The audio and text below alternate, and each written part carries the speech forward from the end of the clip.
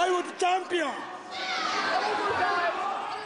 That's the first thing that I saw when I walked into the building. After I ran in 30 minutes after my match had already ended.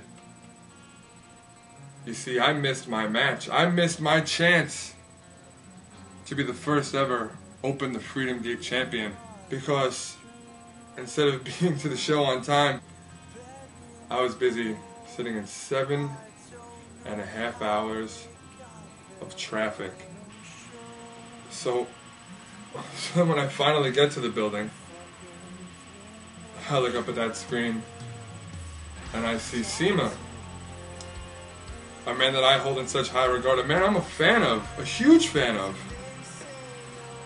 going at it with my trainer, lightning Mike Quackenbush in the ring, and and I don't know what's going on. So the first thing I do is I go out and I wait by the curtain because I wanted to see what just happened. I wanted to talk to Mike and figure out what it was that just that just went down in that ring. And he just starts screaming. He's going off. He's talking about how super crazy goes in there and he starts attacking Skayde. He starts going at Jorge Rivera because he still holds a grudge that back in 1988 he lost his match to Jorge and then CIMA would then take advantage of what Super Crazy did and sneak one over on his trainer.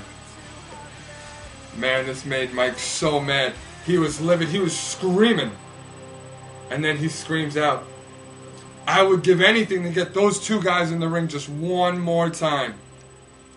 Well, you know what they say. When one door closes, another one opens up. So, Dragon Gate USA, I'm coming to you. On January 23rd, at the Congress Theater in Chicago, make the match. Myself and my trainer, Lightning Mike Quackenbush, against the Dragon Gate icon, CIMA, and Super Crazy.